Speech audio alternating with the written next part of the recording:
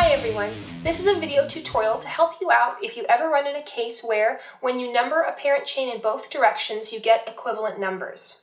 So over here if I take a look at this case, I will see that if I number in this direction or in this direction, I get the substituents on the same positions, 3 and 4, 3 and 4. So now I'm going to have an option to give one of these substituents priority. Normally when you alphabetize, the alphabetically first has absolutely no priority in numbers. But if you run into a case where it's equivalent in both directions of numbering, then you can default to giving the one that's alphabetically first the lower number.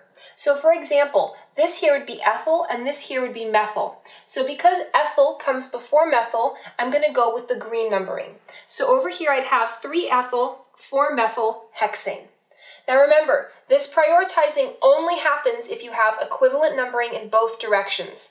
If you have differences in the numbering, then always default to the lowest possible numbers.